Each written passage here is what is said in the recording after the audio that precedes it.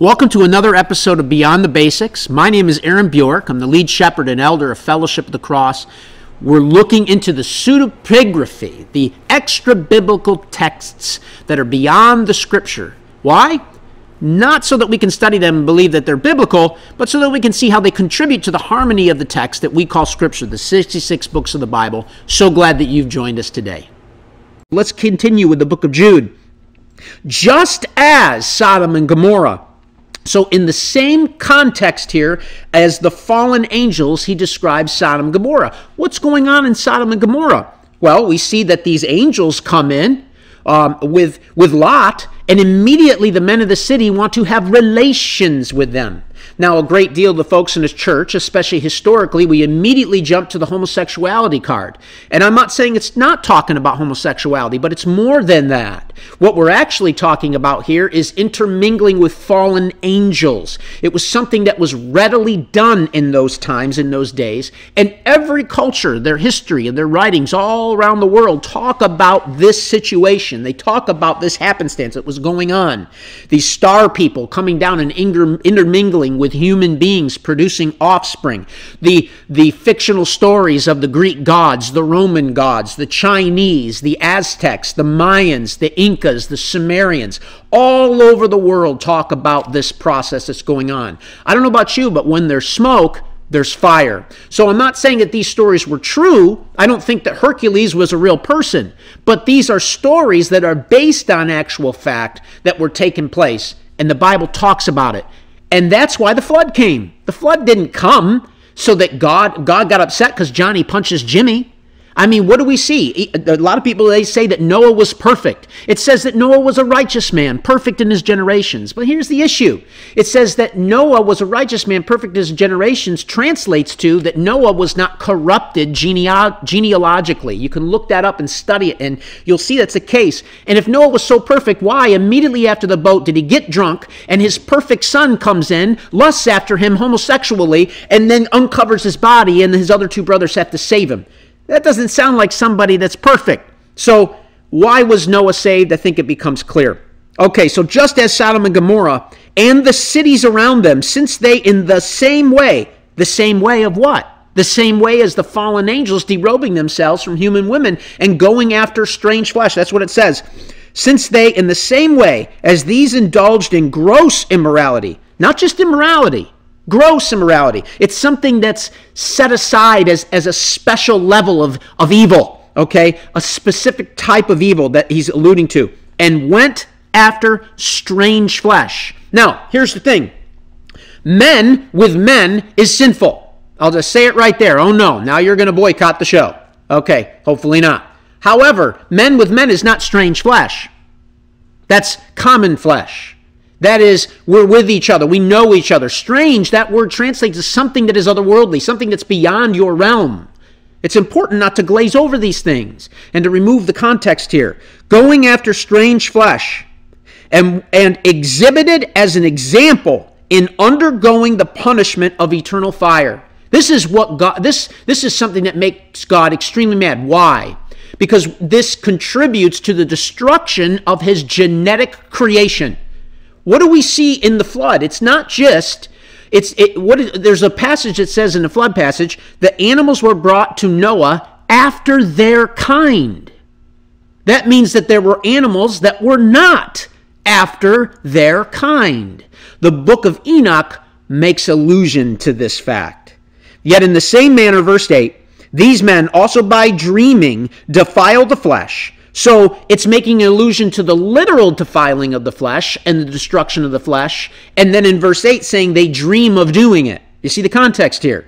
In dreaming, to defile the flesh and reject authority and revile angelic majesties. Have you ever wondered about why Paul says women should have their heads covered in the assembly because of the angels?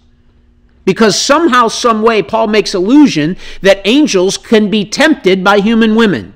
Some of you have never heard this before, but there's passages in Scripture that if we don't have this understanding, at least this theological understanding is something we might not agree with, but we know it's there, we have a hard time seeing what the Bible's talking about in some instances. Let's take a look at the book of Enoch, chapter 15. And this is what it says He says, Fear not, Enoch, righteous man, and scribe of righteousness. Go, say to the watchers of heaven, who have sent you to intercede for them, you should intercede for men, and not men for you. Why have you left the eternal heaven? Say this to them. Why have you left the eternal heaven and laid with women, and defiled yourself with the daughters of men by taking them as wives, like the children of earth do, and begotten giants as your sons? I'm sorry, but a sinful person and a holy person don't pump out 16 foot giants. It doesn't happen. Okay? Um, although you were holy and spiritual, living an eternal life in heaven, you have defiled yourselves with the blood of women and have begotten children with the blood of flesh and have lusted after flesh and blood as children of men do who die and perish.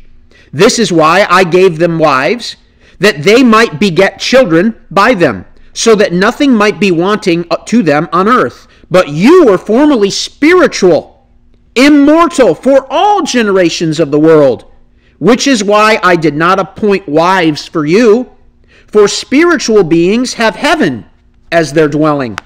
Now listen to this. Verse 8 of Enoch 15. My judgment for the giants is that since they are born from flesh, they will be called evil spirits and will remain on the earth. Because they were created from above, from the holy watchers, at death, when they die physically, their spirits will come forth from their bodies, and they will dwell on the earth. They will be called evil spirits. The heavenly spirits will dwell in heaven. He's talking about angels who haven't fallen.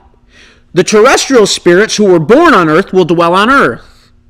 The evil spirits of the giants will be like clouds. What do clouds do? They they go around. They they they rain down in the earth. They're randomly driven by the wind. We see that that's the kind of language that Jesus uses when he's talking about what? Demons.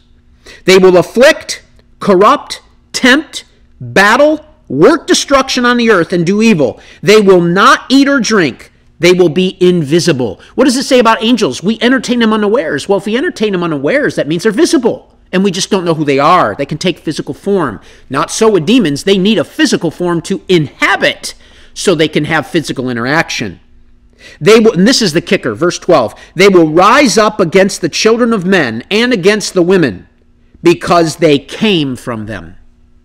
So there you see it right here. And the book of Enoch goes in to talk about the judgment of these demons. Now you might say, well, what's the big deal?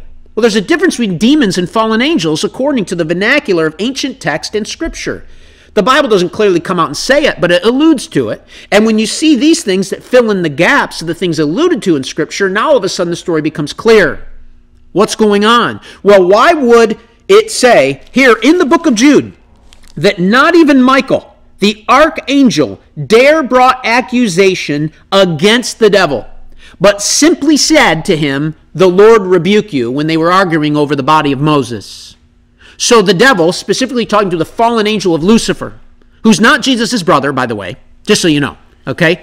Um, Jesus is the eternal God. Lucifer was created at some point in time, in prime before the earth. So this fallen angel, even the angels in heaven dare not bring accusation against him. Why? Because he's powerful. He's powerful. There's only one creature in the universe more powerful than the devil, and that's God himself. And God's going to deal with him someday. He'll be bound, and then Michael the archangel will throw him into the pit. But that isn't happening yet. So we know that the devil can come into the throne of God and not make argument. He does with Job, he does with other people. Accusations not brought against him. But Jesus commands his disciples to take authority in the name of Jesus over the demons and to cast them out. Well, I got a question for you. Why would a fallen angel want to possess me? He's got a much better body. Yeah, it's corrupted.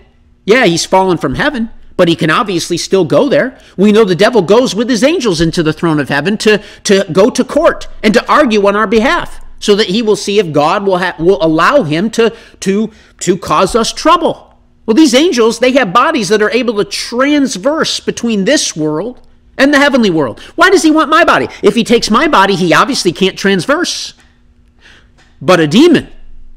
If it is a, a the spirit of a Nephilim, which used to be embodied with powers of fallen angels, but also physically human, six fingers, six toes, constantly making war with David, constantly making war with the Israelites, constantly making war with all the nations of the earth, and it dies. Now it desires flesh. And so these are the things, because they come from the womb of, of humans. Jesus says, In my name, you have authority over them.